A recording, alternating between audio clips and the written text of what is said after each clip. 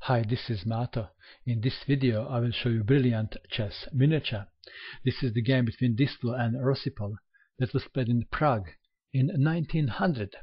Where is Prague? Prague is the capital city of Czech Republic. White started with e4, black played e5, knight to f3, knight to c6, d4, pawn takes pawn, knight takes on d4, knight takes knight, queen takes on d4, and we have Scotch game. Knight to e7, bishop to c4, and the best move in this position is knight to c6, and after queen to d5, queen to f6, protecting f7 pawn, bishop to g5, queen to g6, and after knight to c3, bishop to b4, pinning knight, and game is about equal. Instead, in this position, black played c6 and he will have a problem with his d pawn now. Well, white continued normally, knight to c3, d6, bishop to g5, pinning knight, queen to b6, unpinning, and now, if white takes on d6, then black takes on b2, forking knight and rook. If queen takes on b6,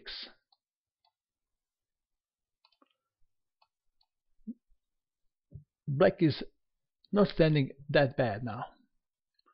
So what to do? What would you play in this position? Well, white was very brave. He captured on d6. Black captured on b2. Which one would you say, rook or knight? The best move is rook to d1 and that was played in the game. Queen takes on c3. Check. Attacking bishop.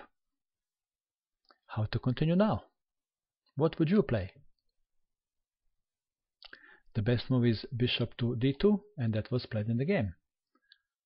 Black captured on c4 but let's go back. The best move for black is knight to d5.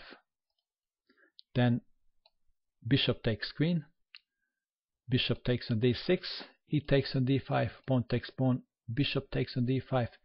And white is only slightly better. So black wasn't interested in, in position where white is slightly better. He wanted to capture bishop. And now he's two pieces ahead in material. But he missed something. It is white to move and to play a killer move.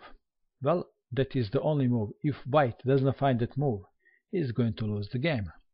What is the killer move? If you wish, you can pause this video and you can try to find the winning move for white. Have you seen this? Queen to d8 check. King takes on d8, bishop to a5. This is check from bishop and from rook. King to e8, and now rook to d8, check, mate. What a brilliant queen sacrifice.